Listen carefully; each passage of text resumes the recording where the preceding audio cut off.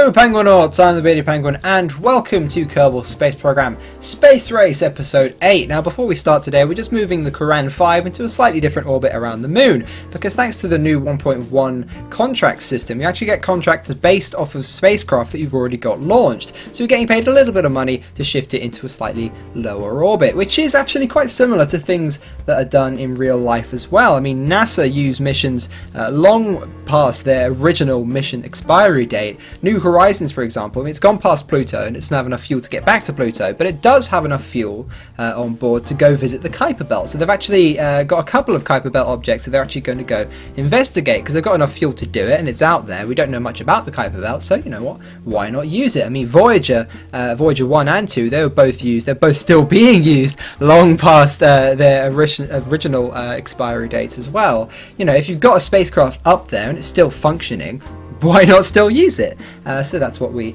were doing there. Anyway, today we are going to Dres, and we're not just sending a probe like Tape sent two probe landers to Moho. No, no, no, no, no, no. We are sending a single Kerbal. one one little Kerbal all on their own, just because life support is heavy and expensive, so shut up. So sending up in two parts, uh, we've got the crew cabin and all the life support and stuff and a little bit of fuel and the lander. And then in the second one we're sending up the drive section and all the fuel. And it's got a single nuclear engine to push it out to Dres.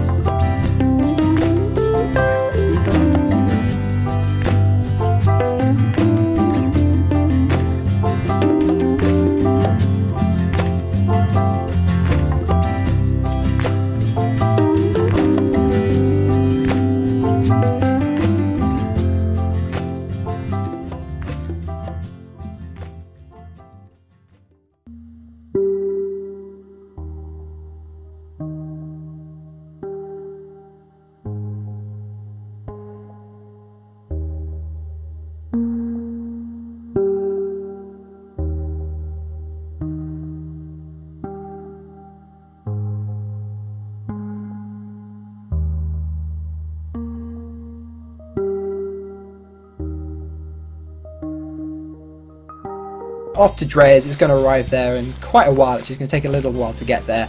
And we've actually also got a Moho window at the moment. Now, we don't actually have a sophisticated um, SSTO technology as tape. We don't have the large plane parts because we've been researching uh, into nuclear propulsion and all that sort of stuff.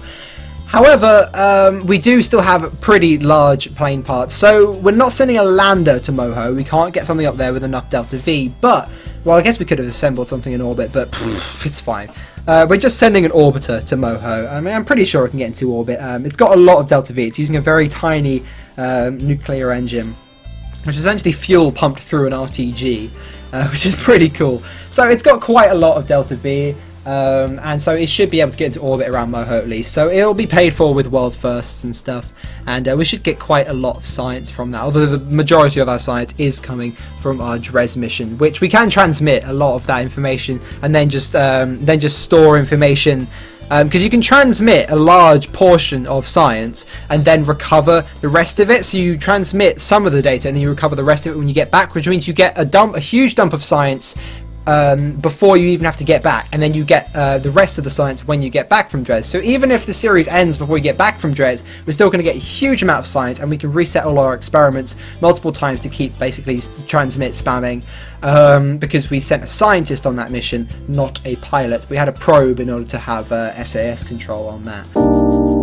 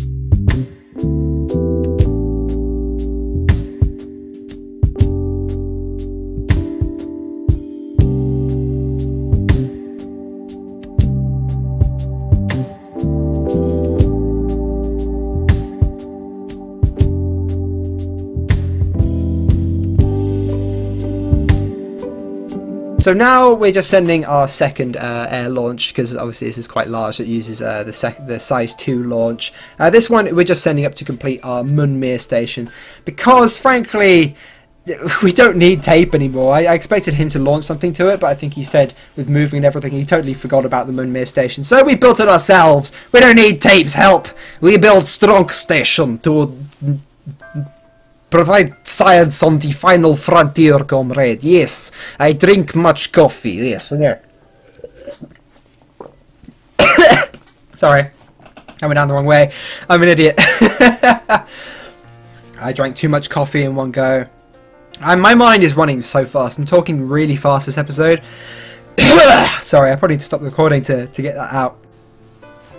You know, I really hate it when that happens. You know, when you just you drink perfectly normally, and usually it happens when you're in public and you're talking and stuff. And you drink too much accidentally, and it goes down the wrong way, and you're like, no! you have to try and pretend that you have a cold or something to cover up that you're actually an idiot and it went down the wrong way. That happens to me so often because I just talk too fast. My mind runs really quickly. My body just can't keep up sometimes. Uh, but anyway, so we're, we're expanding the station. And Tape can actually put modules on this if he pays me 100,000 funds, which may be, um, may be economically viable for him. Because this station has cost more than 100,000 funds for me, so if he just pays me 100,000 funds, um, then and then he can dock things to to this station, which has got a crew capacity for 19 Kerbals and obviously all the station equipment already on board, that could save him a lot of money, and then I get some money back. So Tape, if you do want to uh, to dock to this station and use it as an international station, you're going to have to give me some funding now, okay?